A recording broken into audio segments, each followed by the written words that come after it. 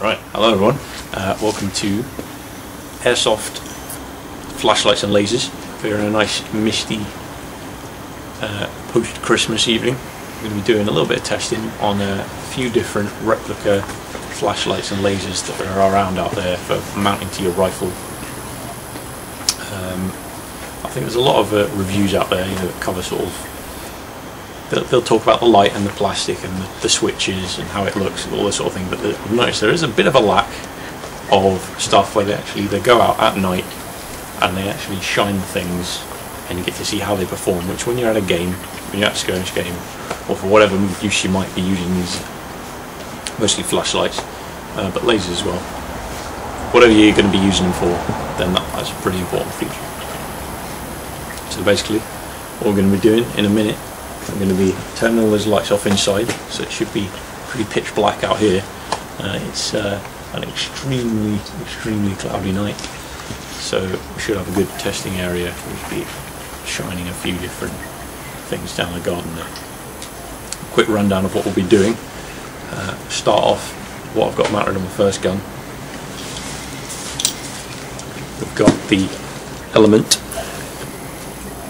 M3X flashlight here the dual tape switch which is linked up to the M3X and also to the VFC PEQ 15 so we'll be doing that flashlight flashlight on here and the laser on here seeing how they look. Alright so we'll be back in just a minute.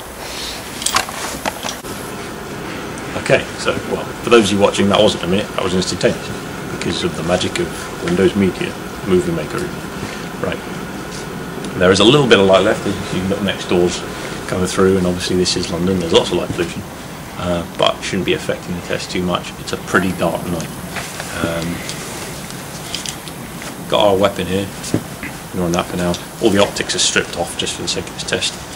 As I mentioned before, got our Element M3X VFC PEQ 15. Let's have a look. We'll start off, flip off the IR filter here and we'll be doing the Element M3X it downrange and let's see how it does. Now first impression straight away I am got pretty impressed for a Chinese flashlight that costs. Well you're looking at maybe 30 40 dollars something like that possibly slightly less depending where you shop obviously. But I mean that is quite impressive. I've not been outside in the dark with these yet. I've got two of them though, one's on a pistol and that, I mean straight away you've got a main central cone there.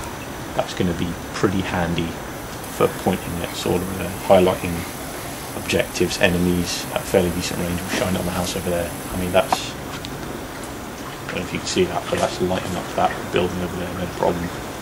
Point it up in the tree, I mean that is shining up into those branches and that's a fair old distance away and that's just the central cone of light which is fairly focused, you're not getting a massive spread. So if you want a massive search beacon then I wouldn't go for one of these. But as you can see there, this for the length of my garden. Is kicking out pretty bright focused beam with a fair bit of flood looking off to the sides, giving you a nice uh, spread, lighting up a wide, wide area in front of you. So yeah, quite impressive performance there. Turn it off by comparison. Back on again.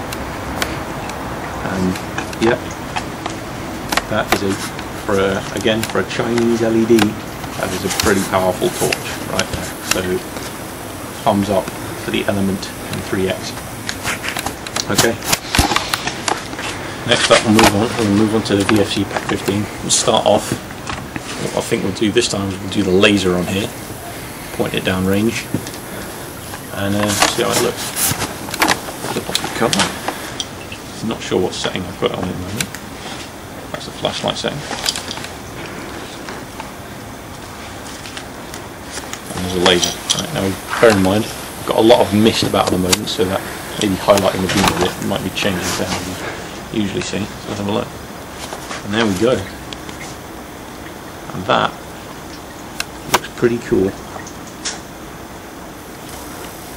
And what we've got there is a this is a this is a low powered laser, all things considered.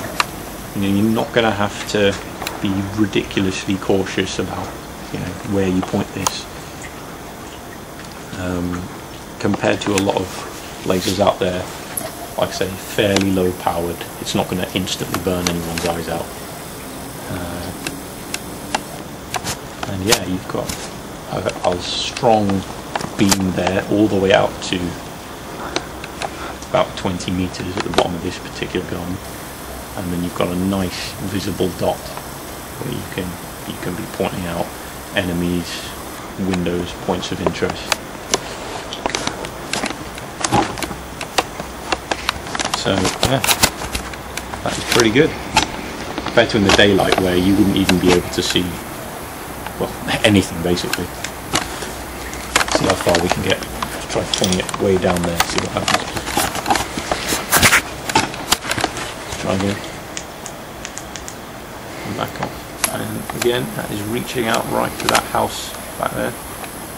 Avoiding any windows, we don't want to be pointing at anyone's windows. Very briefly had a look there, yeah.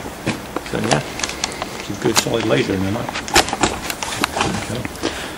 But still sticking with the PEQ 15 here, we'll switch it over to the light. First with the cover on, let's see how it does a very, very different effect. what extremely different in fact to the to the element. Uh, I would call this probably well the range when it's fairly short you can tell it's not a particularly powerful bulb. Uh, it's quite difficult to pick out the details of the shed etc down down there. Uh,